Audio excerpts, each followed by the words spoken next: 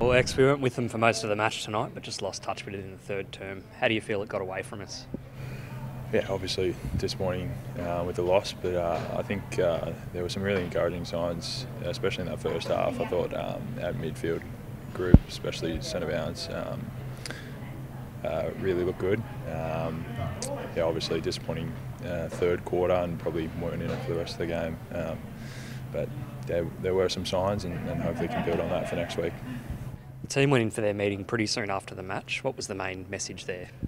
Pretty much uh, what I what I touched on. Um, looked at some of the positives. Um, sort of zoomed in on, on that third quarter, and and if we even if we sort of didn't let it blow out to what we did, maybe a, a two three goal um, win for them, and, and we're still in it in that last quarter. Um, those were sort of the main messages.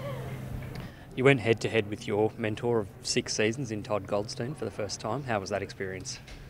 Yeah, it was a bit strange, mainly just seeing him in those colours, to be honest. It doesn't suit him, does it? Um, no, it was good. Um, obviously, he's been so huge for me. Um, since I've been at the club, uh, I admire what he's done and, and, what he's still doing to at his age is, is incredible. I think he reached 10,000 hit outs the other day, so um, for him to still be doing what he's doing is quite remarkable.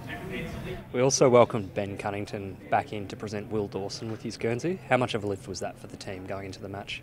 Yeah, it was huge. Obviously, Cunners has been a, um, one of the main main guys for our footy club for the past decade or so.